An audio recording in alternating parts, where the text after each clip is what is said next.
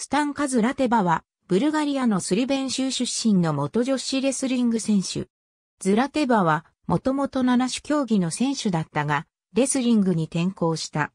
2004年アテネオリンピックでは、予選敗退し、出場12選手中最下位の12位だった。2006年から元世界チャンピオンのシメオン・ステレフの指導を受け級、成長し、2006年2007年世界選手権を連覇。2006年の決勝では、日本の浜口京子に恋と思われる頭突きを食らわせ勝利した。2007年は2回戦で浜口と再び対戦し、第2ピリオドで浜口の投げが認められず、逆に浜口の体を巻き返したズラテバだけに得点が入り、ビデオチェックもないという微妙な判定に助けられ勝利。2008年北京オリンピックでは、決勝で王京に敗れたものの銀メダルを獲得した。2015年に現役を引退した。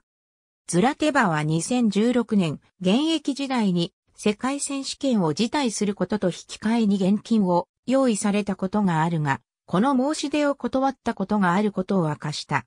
テンプレート、レズリング世界選手権チャンピオン女子、フリースタイルヘビー級。ありがとうございます。